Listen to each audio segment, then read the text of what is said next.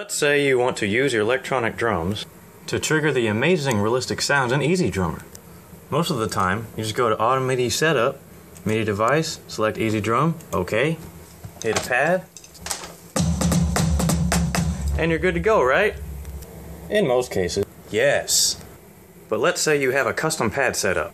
You want to have two crashes, but you're usually only provided with one crash, one hat, and one ride. So you sacrifice a tom pad and instead of using all three as toms, you use a rack tom, a floor tom, and a ride cymbal. As long as you plug them in the right way, they still register just right. But this one still registers as tom 1. And although you can change the sound in here and get a crash out of it, it does not translate directly into EZDrummer. God, I'm gonna kill you. Why doesn't this thing freaking work? You're supposed to sound like this. Ah! Well, you're going to need a few programs. The first one is called LoopBe1. Go to the page, go to the side panel, click download, scroll all the way down until you see LoopBe1, download your free copy, download and set up. And after that, look for eDrum MIDI Mapper. Just go to the right here, click download. And next, open eDrum MIDI Mapper.